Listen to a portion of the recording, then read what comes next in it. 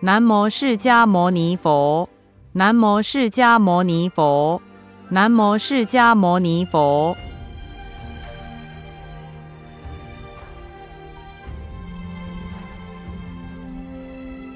觉悟成佛。于是，悉达多太子与五比丘在苦行林中修苦行六年，忍受饥饿痛苦，在一次苦行中昏倒了。巧遇一位牧羊女，给了羊乳喝，才得救。从此意识到苦行无法达到解脱，修行是应采取中道。转而前往菩提伽耶，坐于菩提树下。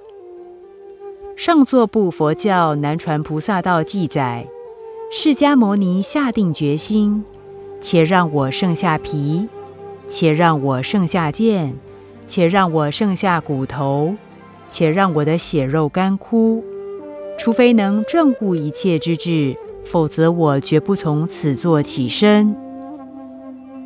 依南传大藏经记载，悉达多太子入四种禅，得三名，现观四谛与十二缘起，而成无上正等正觉。